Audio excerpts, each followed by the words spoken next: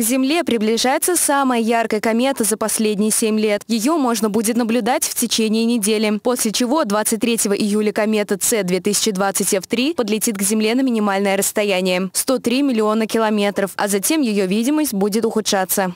3 июля она прошла перигелий, это точка максимального сближения к Солнцу. А расстояние до Солнца было чуть ближе, чем от Солнца до Меркурия, то есть, в общем-то, по космическим меркам не очень близко. Э, есть кометы, которые приближаются к Солнцу намного ближе, но и выжить у таких комет шанс намного меньше. Соответственно, комета э, перигелий благополучно пережила, и сейчас, начиная удаляться от Солнца, но при этом еще какое-то время, до 23 июля, она будет уменьшать свое расстояние свое удаление до Земли, и поэтому ее блеск сейчас остается практически постоянным. Небесное тело было открыто 27 марта этого года космическим инфракрасным телескопом NEO-WISE. В следующий раз комета вернется только через 7 тысяч лет. Уникальное явление можно наблюдать невооруженным глазом в северо-западной части неба. И, конечно, делать это лучше на открытой местности, например, за городом. Во всей красе комету можно увидеть с помощью бинокля, подзорной трубы или телескопа.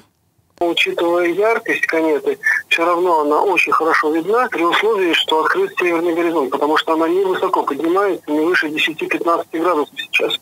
И если ее наблюдать, то нужно, чтобы север был открыт. Ну, вот такая интересная конфигурация ее на небе, она добавляет, ну, можно сказать, интереса с точки зрения ее фотографирования, потому что сейчас э, достаточно часто появляются серебристые облака, и она находится в поле серебристых облаков. Это, конечно, зрелище ну, просто фантастическое. Если это удается запечатлеть на камеру, то можно получить просто шикарные снимки. Диана Желенкова, Univer News.